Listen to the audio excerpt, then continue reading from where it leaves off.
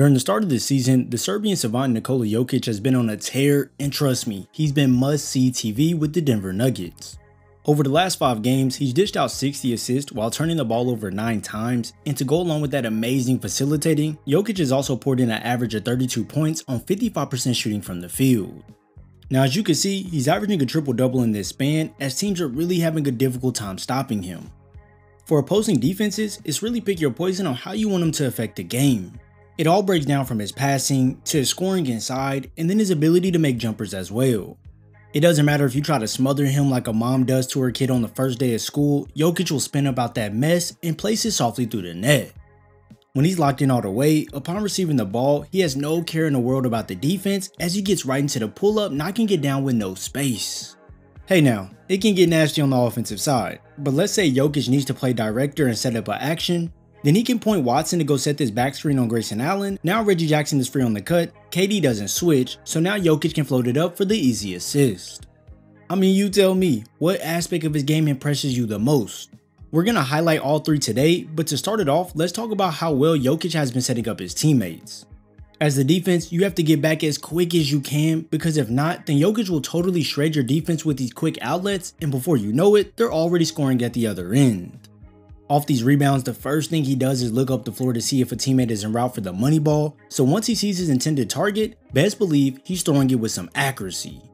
If you watch here, he turns defense into offense on this play, and it's only one dribble before Jokic floats his pass over the top and leads it out in front of MPJ so he can stay in stride to flush it home. As you can see from those couple plays, he has a ton of value on the open floor, but his passing skills really get special when you drop him in that half-court setting. With Jokic, you have two ways you can work the offense around him. Either set up plays and he'll make the right read within the action, or you can let the offense just free flow through him and he'll use his brilliant IQ and vision to dime up the open man. I can't stress this enough. All you have to do is keep moving and Jokic will find you. As here he's already scanning the floor and darts a bullet to MPJ on this deep cut for the short corner jumper. Like come on now, you really shouldn't let a high volume scorer like Porter get loose or else Jokic can deliver these quarterback dimes in the blink of an eye, making you pay on a deep ball connection. Not only does this apply to MPJ, but also Reggie Jackson who's a 41% 3 point shooter at the moment, so when Suggs decides to collapse on Jokic to slow him down, it's an easy float over the top to this slot area and his bombs away for Jackson. This Nuggets team is filled with snipers all over the floor, so if you leave to go double Jokic in turn leaving someone open, then you better hope it isn't one of their shooters or else this will be the result after doing so. Since he can score and pass the ball so well, you'll see the defense rush him when he's in the pocket, but even though he may be surrounded by three Houston Rocket defenders, Jokic says, Sensational. And slings this out to MPJ for the splash. It really sucks to give up those looks from deep for the defense, and not only does Jokic exploit them with the perimeter fastballs, but he can also dissect the defense with the drops to the cutters inside as well. Driving to the left side of the floor versus Phoenix here, with him having an elite soft touch floater, it makes the defense bite hard on this gather, but as a help defender, you can't afford to be out of position because that's when Jokic audibles the play and dumps it off to Watson so he can go slam it all over Nurkic's head. The patience he has allows him to be able to wait for plays to develop, but when you add in his quick reaction timing as well, here's where you see him be able to turn and lob it over to Nnaji after attracting the double for an easy one in close. The passing of Jokic is truly on another level, and to be honest in my opinion, I think he's the best passing big we've ever seen in the NBA. His ability to set up teammates does so much for the Nuggets, but that's just one aspect the defense has to worry about, as next year comes his brutal scoring. When he catches in the paint and notices that there's no shot blocker immediately in view, as it's only Grayson Allen contesting him, Jokic just pulls out that elegant floater and sinks it right over the top.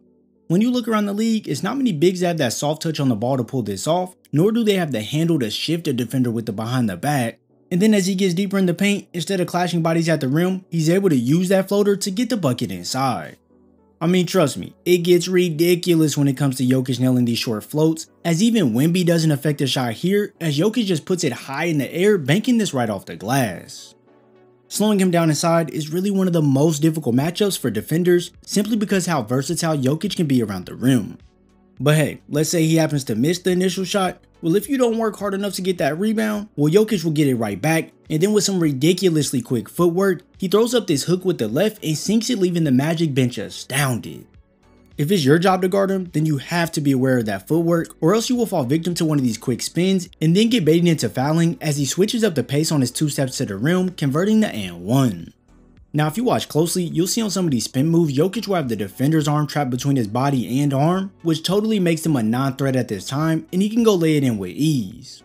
You can see on that last play the defender got mad as Jokic went on to get an n one but also on this spinoff, it happens again, and you'll see Alperen Sengun get swung around like a rag doll before showing his frustrations to the ref. Now you all tell me, is this cheating or is this just being creative on the court? It's not like Jokic leans on hooking the defender's arm or even intentionally does it. But hey, if it gets you to your spot on the floor and the ref doesn't call it, then I guess it's free game. Sometimes when he spins out the post, he'll be met by multiple defenders who rotated for the help, but that's when the patience and reaction time he got talked about comes in, and he can use this step through through all this traffic and reverse this one in on the other side of the rim. Yeah, just when you think you have him where you want him, he shows you that he has a counter for your scheme, and other times out these post ups, he won't always spin towards the rack, as instead he'll spin back off the defense to nail one of these mid-range jumpers. The other night as he was battling with Nurkic, Jokic spins out towards the baseline, but if we rewind back and look how Nurkic reacts, you can see he lunges back a little as that's where he thought Jokic was headed, and with just that one mess up, it opens up the jumper even more for the knockdown. His touch in this area is improving greatly, and when you see him dropping these middies off the dribble fading away, it makes you do one of these with your eyes. With him having such a high release point on the shot, it makes it nearly impossible for defenders to block him straight up. With him having such laser focus on the court, it makes it to where even if he gets knocked off balance a little bit, he can still connect on the jumper. And then with his passing being a threat to the defense, keeping them on high alert, this is when you see him left wide open in the middle of the floor to pull up for the warm-up J. It's been a masterclass performance night in and night out for Nikola Jokic, and opposing teams are just lost when it comes to guarding him. There's honestly just too many ways he can score, pass, and direct things on the court that even if you take away one thing, he has tons of tools in the bag to use at his disposal. The Denver Nuggets sit at 14 and 2 atop the Western Conference, and behind Nikola Jokic and his amazing play right now, they look like they are on track to have a great season and deep playoff run. It's still early, so I'm not going to make some set in stone predictions. But what do you all think of Nikola Jokic and the Denver Nuggets? Let me know down below. If you enjoyed this video, be sure to drop a like and subscribe before heading over to watch this Orlando Magic analysis. I thank you all for your support, and I'll see you in the next video.